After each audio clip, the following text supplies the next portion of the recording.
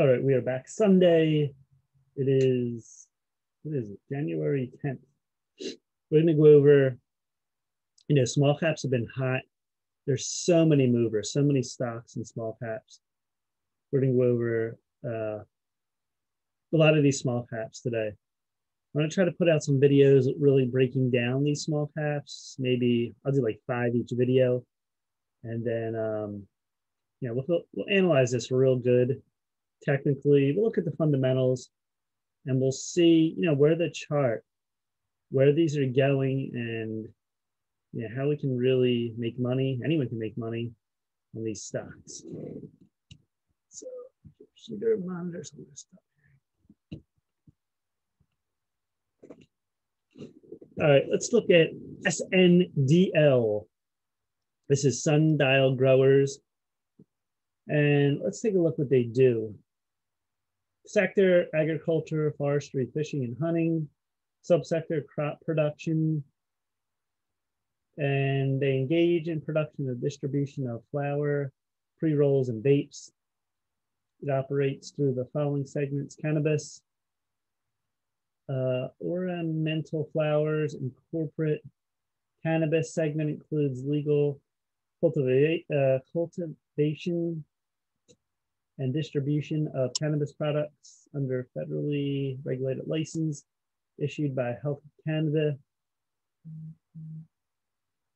What else does it say? The corporate segment represents corporate activities and items not allocated to reportable operating segments. Company was founded by Stanley J. Swiatek and is headquartered in Calgary, Canada. Any other information here? Let's see, nothing here, profile. All right, so the float, they have 389 million. That's a large, large float. So this doesn't move necessarily like a penny stock. It's ain't gonna move, you know, huge jumps. Although, you know, it can move here. You can see back here, 50 cents a dollar. it is possible, you know, how it moves, but it's not one of them low floats. Short float, 8.6%. Short growth, 58%. Market cap, 73 million. They have 19 million in cash. Change. Current debt, 90 million. Enterprise value is 166 million. Revenue, 51 million. Uh, current assets, 169 million. And let's see what else here. Held by insiders, 11.23%. Institutions, 5.37%. So yeah, they have 19 million in cash right now, revenue 51 million, and it doesn't include income. A lot of things are missing here. Let me look at uh,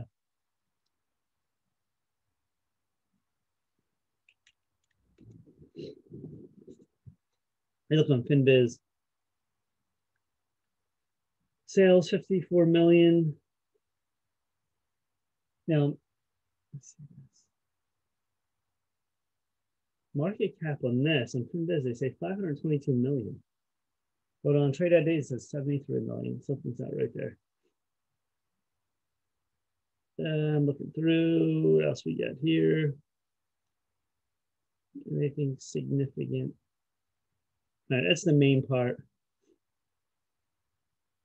And let's see what else here. All right, that's the main financials. So you can see where they have cash on FinViz. Cash, cash. No, it doesn't say here. Looking around. All right. Let's look at the chart. That's the main thing too, once you get by all these stocks. So this came out. What was this? 1322. I guess this IPO way back in August 1st. Um, 2019. Then this came down, down, really they washed this down and it bounced here. December you know bounced the four from two came back down again. You know floated towards this 50 cent line. This really became you know penny stock really under a dollar. And then right here we had to move down yeah 50 got to move to 125 then back down to 25 cents and it went below 20 cents. This one is low as, you know, 14 cents. It's at 68 cents right now. So I don't think this is going out of business, you know, anytime soon. So of these stocks, if they go that far below, you know, it's not a bad time to buy on some of these stocks here. Draw my line right here. Try to connect these.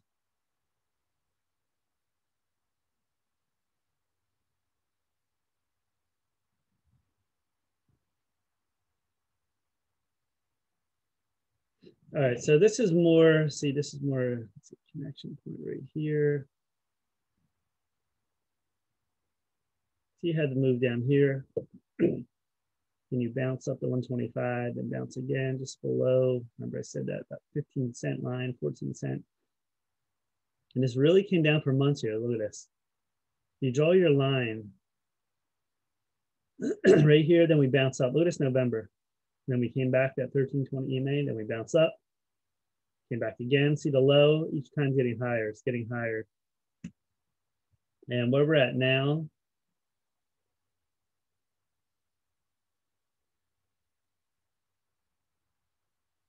draw this here, let's see. Connect these.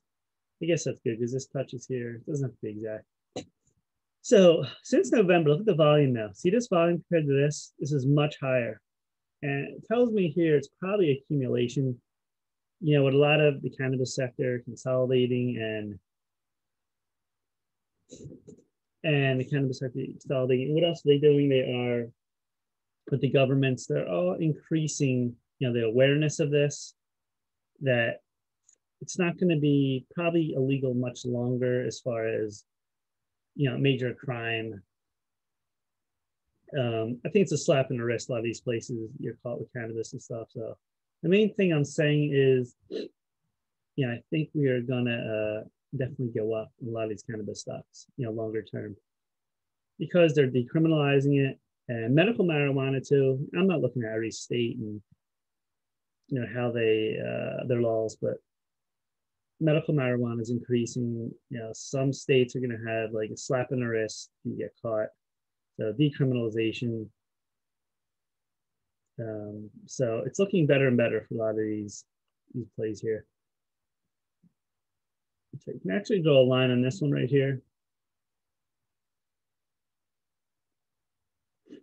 so move up, move down, move up, move down, but the low is getting higher, higher, higher. And what's this going to do? Well, if this comes down again, you want this line to hold. Say this trend line to here, maybe 50 cents or move up. Yeah, it's been in a downtrend right here. See a steady downtrend. So, yeah, what are we looking here? Yeah, if this trend line holds, so you want really 50 cents to see this here, here, you want 50 cents to hold. If this holds, you you'll bounce up again, and then we probably will test this dollar, you know, 75, $1 plus. I will call it 125 zone on this. So short term, you want 50 cents to hold. And then you're looking for, you know, 75 is real close. So a dollar to 125, which is back last year. That would be my target right now, you know, immediate target. So SNDL, you know, the monthly, not much to go on. the weekly,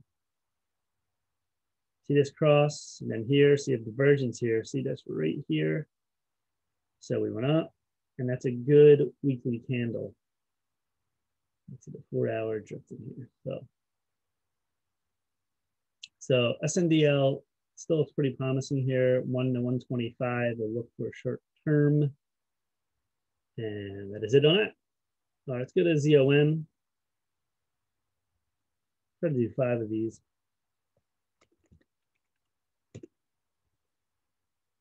All right, see.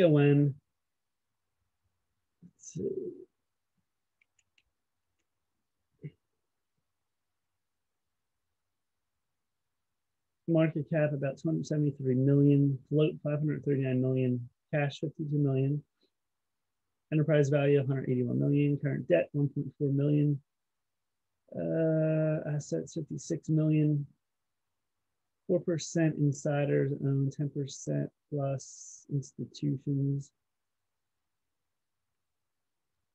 Uh, Zomedica Corp operates as development stage company, creates products for companion animals by focusing on unmet needs of clinical veterinarians. Plans to offer novel diagnostics and therapeutics that focus on patent health and practice health. Company was founded by Gerald L. Solensky on January 7, 2013. It's headquartered in Ann Arbor, Michigan. Look at recent insider buys. John Powers, director, bought 625,000 shares traded 16 cents. That was a pretty good buy there.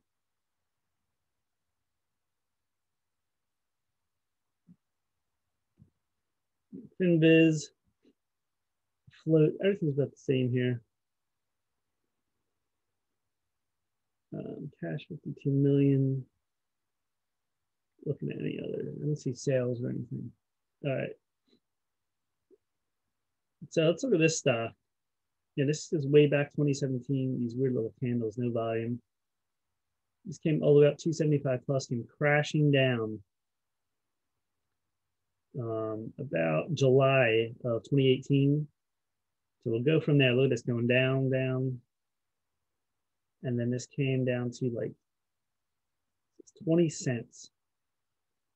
And then this bounced all the way up to 40, 45 cents. Then we came down again. See the volume here. And then this came, what's this low right here? Low was six cents. Wow. So imagine getting this six cents and it's um 50 cents. And yeah, it didn't seem like they're going bankrupt. 52 million cash. So and that's a lot of things. Remember, we crashed in November. A lot of these stocks are the same pattern. And look at ever since there. See the volume? Volume is really big volume compared to the normal volume. Back here was a little bit. Um, so this is really, you know, it's a 10. Then we have your 13 above your 20 EMA and went to 15. And then we went all the way up to 55. We pulled back a little bit. So this is really good on fire. You know, where could this go? Well, we have a falling wedge right here. Yeah, 50 cents. You know, right at this gap fill right here. We're going to pull back a little bit and then come back up. You know, it's hard to say. Um, you have 60 cents right here, all these lines. Well, here's the $1. See, this must be IPO'd back then. All these like sketchy lines. I would look for, yeah, immediately we got to get over 50 and then 75 to a dollar would be very a good zone on here. So 75, $1 on ZOM. Now your stop on this, yeah, it's only 50 here. This could easily pull back. You gotta be extremely careful. I'll look for 30 cents at 1320 EMA on this, but looks very promising. The weekly, see the weekly, this tight, tight triangle we broke out. Now we crossed over, so I don't like that. We crossed over negative. Let me see the monthly. Well, the monthly's still going up though. We're like wrapping. We're doing this, that wrap around. So this might have leg to go in the monthly. See, the weekly, we could have a short-term pullback. We could pull back here or here before we go up. You just never know. Uh, the weekly, here's the weekly. We're right at here, and we're crossing. See this? You low to high, that's what you want. So it made it to move, although it could stay up. So let's be aware of that. So 75 a dollar looks very promising. Uh, just watch for your pullback zone. All right, ZOM.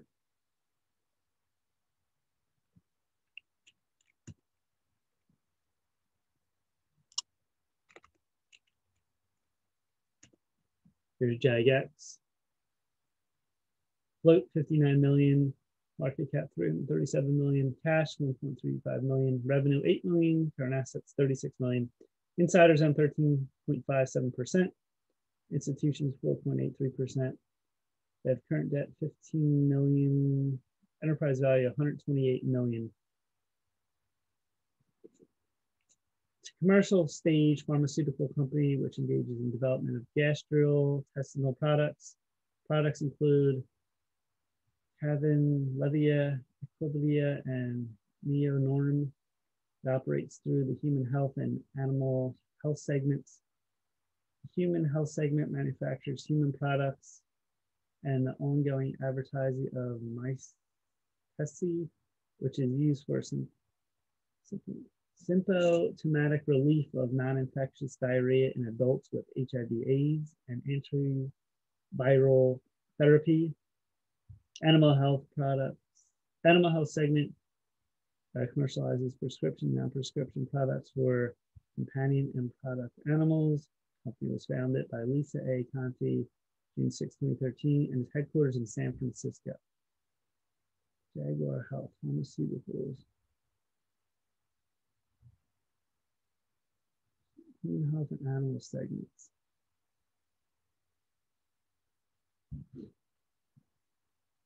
The insiders. Jan Wojcinski and Jonathan Siegel on July 23rd bought 12,000 shares and 180 shares at $2.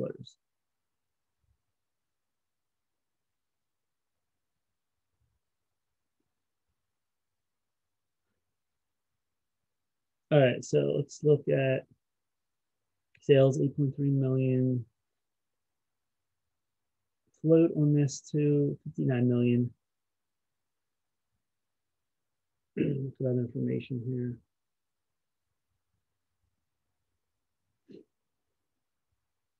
Finviz has other information. They do irritable bowel, includes Calaria, animal health products. All right, so yeah, this has been on the tear lately. Now going back to this stock, it looks like it IPO'd way back in you know 2015. So it wasn't 7,000 a share, reverse split. See this, it did it down here, two reverse splits, down, down. Eventually dropped, and where we're at now. After this was like 30, 40, the reverse split again. Has really dropped hard to that one zone. Draw a line here, try to connect these lines.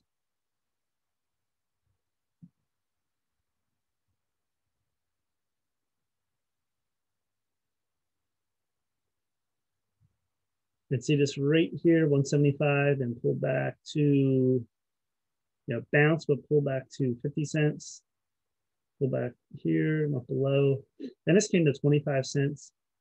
See, everything in November, when we pull back November, most these stocks, small cap, large cap, the market, then we bounce up. then we bounce up right here to 50. Look at the volume here. And then you're at 33 cents. It's hovered for a while, for like a month. Then we bounce up hard on uh, 655 million volume. Then we pull back. Look at this right here. Float it to near this 13 EMA, bounce at 75, right through the one zone. Look at this.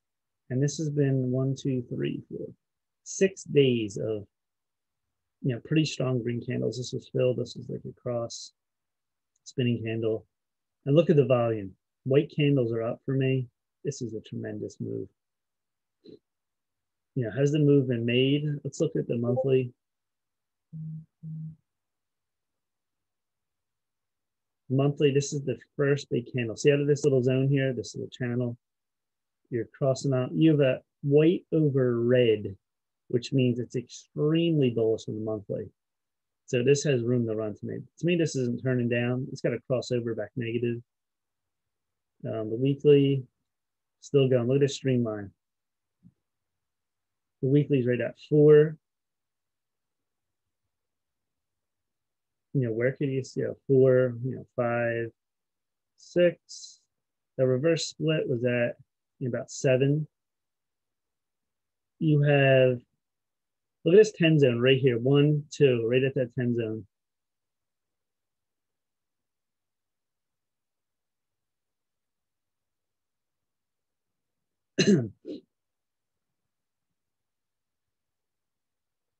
So, you know, you're going to look for this go up each number four, five, six. Right here's a verse split at six, eight, 10. 10 is right here from 2019. So anywhere from, you know, of course, we're at four, four to 10 on this. Now your stop. You got to keep it tighter stop. This could fall back real hard to 13. you know, what all these are manipulated to, you don't know who's in these, like a hedge fund, whoever's playing these, uh, market managers. You know, this could fall all the way back here to the 13 and bounce. You've seen this before. Remember stocks go down here and bounce at your 1320 EMA. This could come here and then bounce straight up hard. You could get a big red candle.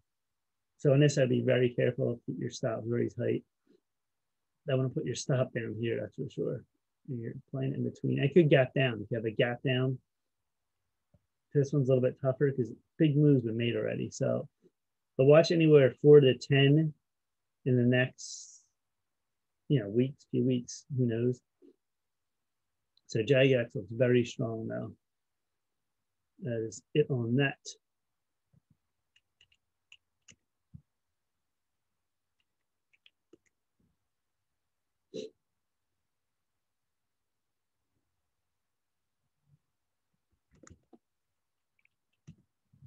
LMFA.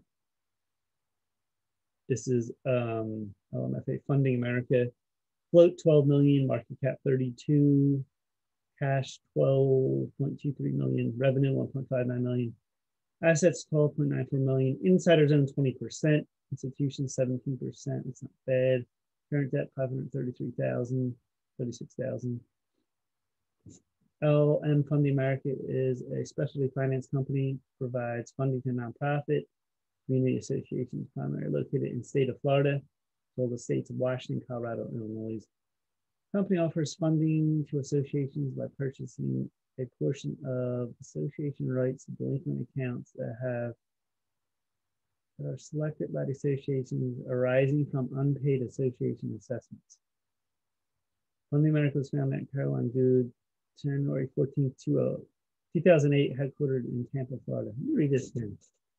Company offers funding to associations. So by purchasing a portion of the association's rights to delinquent accounts that are selected by associations arising from unpaid association assessments. It's kind of confusing. So they offer funding association by purchasing association's rights of the delinquent accounts by the association you said were unpaid. Definitely. And from 2020, November, all buying, you have 14,000, 18, 11, 1, 50, 83, 6,000 shares. Tons of shares have been bought from 90 cents to 147 on this.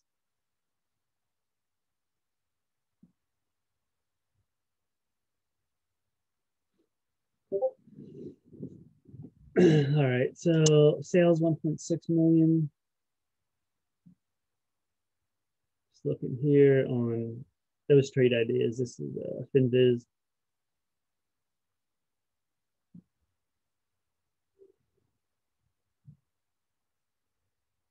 Company provides medical insurance products to international travelers too. All right, so this is one on the tear too you know, going back to 2016, looks like this IPO'd like 100, came down, came down again. You know, 20. You had a reverse split back here on October 16, 2018, one for 10 split.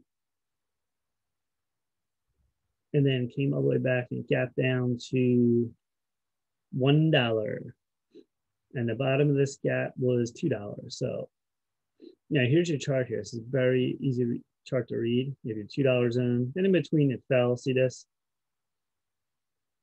Then this fell really hard on this candle, 30 cents back in April.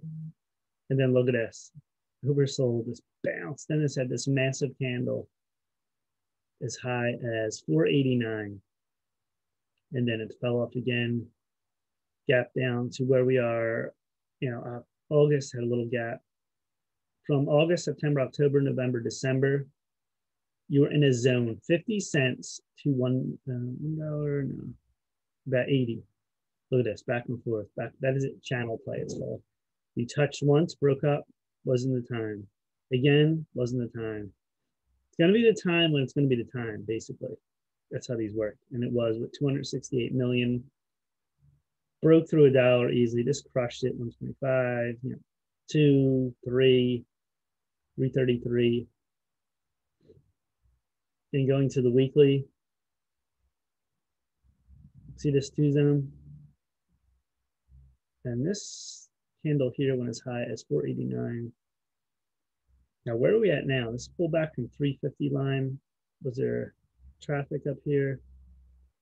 Yeah, right here, looking back July, August, you have a lot of wicks here. Got that three, 367 line. On the monthly, in the monthly, we're just getting started to cross over stochastics here. See this rounding move? It looks like this wants to go up.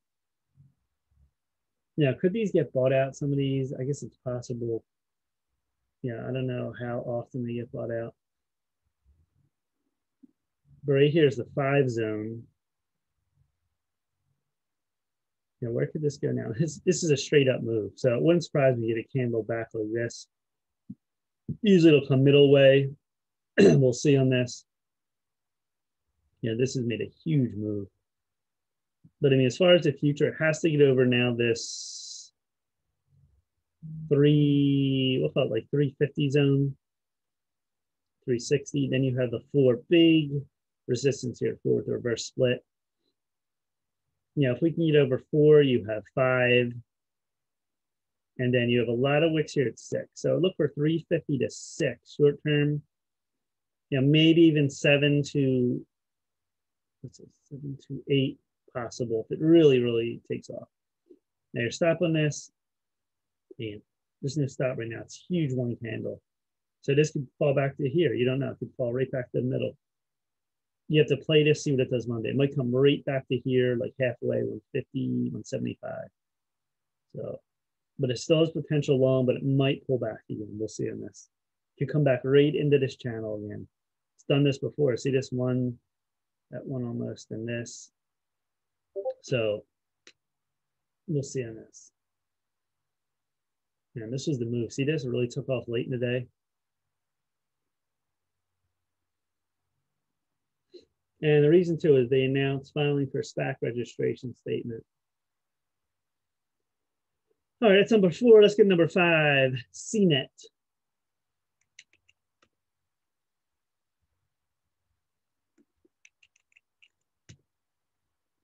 All right, CNET, ZWZ data, 2.92 million float, market cap 80 million, cash 500,000, market cap 80.3 million, revenue 46.81 million, insiders own 26.79%, which is good. Institutions only 42, 0.42%.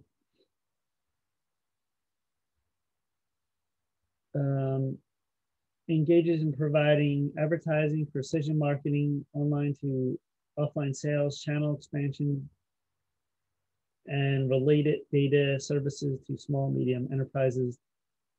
Services include precision marketing, data analysis, member point management, and other value added services. The company was founded by Handong Cheng and Zi Zhang in 20, 2003 and is headquartered in Beijing, China. So China play, I don't trust. I don't trust China, please. And Finviz sales 45 million. Insider zone on here, they say 22%, float 20 million, a little bit higher. January 7th, they had Data Action Technologies announced a strategic partnership with Yuzhong Capital. That was the last news. It has internet portals, including 28.com, Liansuo.com, etc. Headquartered Republic of China. The one thing China plays, you can't really trust. You don't know their financials. They could be lying about everything. It's pure speculation. And I think, wasn't it in Congress or something? They wanted to delist all these Chinese companies from uh, stock exchange. I think it was.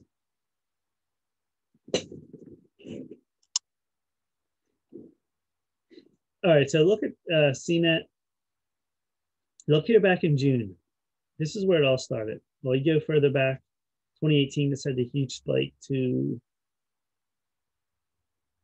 1190. This went from $1 to 11. Look at this. And then it came way back, and then you got into this little zone here. See this channel? Back and forth, back and forth. and all these are patterns getting out. This is a falling wedge. When you have here, the high getting lower and the low really holding or slowly getting tighter. It's not really going down that much. See this? See the space? And then it really dropped here. Did one of these, fell out of the falling uh, wedge and then came right up. 75. then we formed the new pattern here, May. Look at this, May, June, July. We kept bouncing. Look at these highs. So you went from like a dollar, dollar fifty, bounced again, two dollars, one fifty.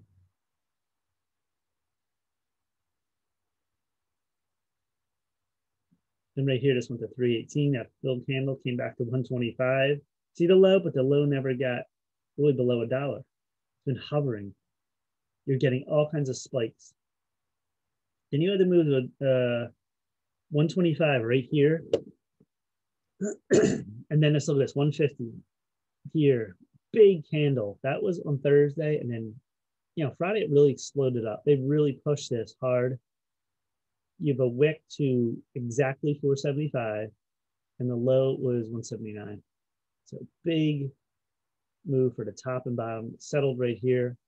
And look where we settled. Ain't that funny? Look at this. This is how all this is so like integrated. These um these charts, um, the algos, whatever, I don't know. But this is like perfect. Look at the high each time, trend line. One, two, three, four. That one's a little bit lower. Look at this. They all connect on the body of the candle, not the high wick. So let's look at the monthly. In a monthly, you can clearly see the one dollar has been holding since this IPO'd, or actually, this thing's been since 2009. Wow. And then it, you know, it's had crashes and bounces. Where we are now, see, we're, we're broadening the wedge. See this? We're getting smaller to wider. It looks like this wants to make even more moves. It's trying to like cross back up. And what do you see here? well, the three line, there's a lot of um, congestion here. Think a lot of wicks too to the four line. Look at this four line. And then you just try to make this five line. Back on the weekly. Look at this weekly. Wedge down. And then a reverse. It's like the reverse pattern. That's a wedge down. This is a broadening wedge up. It's not a rising wedge. See, a rising wedge would be if this is going this and this is getting tighter like that on the reverse side. This is a broadening. You're getting bigger and bigger spikes.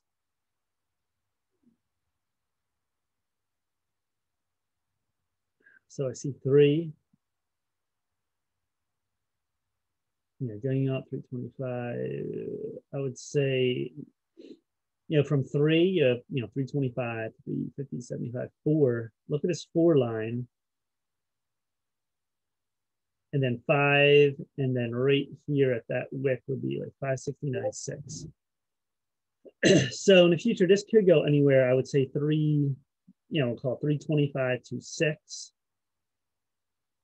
As you have the reverse here down, now we're going up. So still oversold on the weekly, so it's kind of have more and more spikes. And on this too, see it's back in this, every time it spikes from this, it pulls back, it pulls back. This could pull back right here again. It could come all the way down to 125. That's your trend line in the bottom. Or it could come right back up again. Well, you know, a few weeks, month, you know, and come right through that again.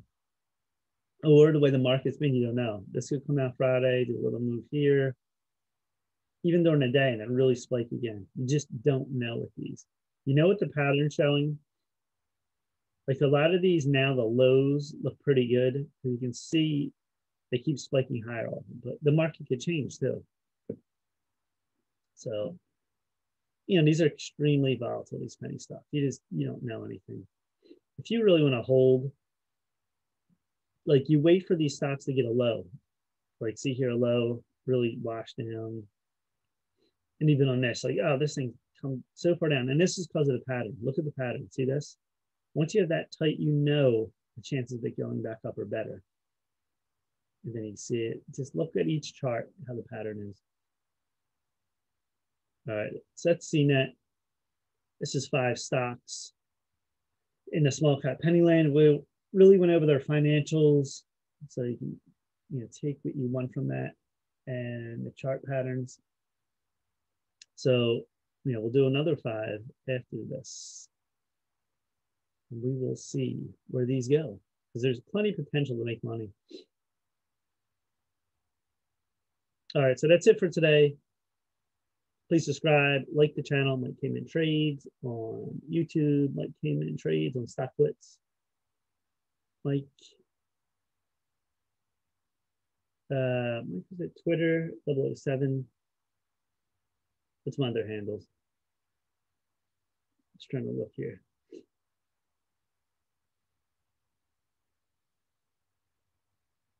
Let's see here. I got, yeah, Stocktwits, Mike Cayman Trades, Instagram, Mike Frank 98, TikTok, Mike Frank 3, like the third, I, I, I, Twitter, Mike 007. And that's it. Peace. Please subscribe and like the channel. Coming out with great stuff here. No one's going over these small caps really. And you know, there's plenty of money to be made in them. You just got to know. And these are a lot of these are good trades. And if you're really smart, let's go back again. These are all patterns too. You're just they're just lower price. That's all. as long as they don't go bankrupt, some of them can. You gotta be careful, but you're just playing patterns. Even if you want to do small size, sort of every they form patterns. So over and over, you're gonna see patterns like breakouts. Like you're gonna see it, trends, trends, and look at this. Oh, we're breaking through. Look at the volume. When you see a lot of volume come in, it's very important. And some of them have like one spike. Look at a spike. So that's how they run. All right, we're out for now. Peace.